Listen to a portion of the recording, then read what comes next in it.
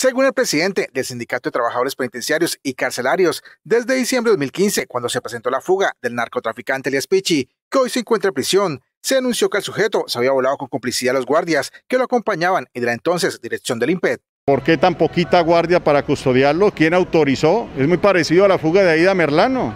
Es muy parecido. Todo el mundo sabía las implicaciones que tenía ese, ese interno y por qué con tan poquita guardia, por qué no se pidió apoyo de la policía y la forma como se fuga.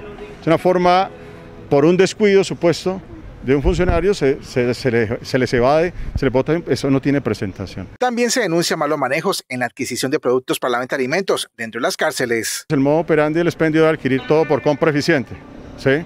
contratación. Entonces lo que hacían era meter productos por debajo de cuerda, venderlos a los internos, sacar el producido y repartirlos entre las personas que los, los, metían a, a este lugar.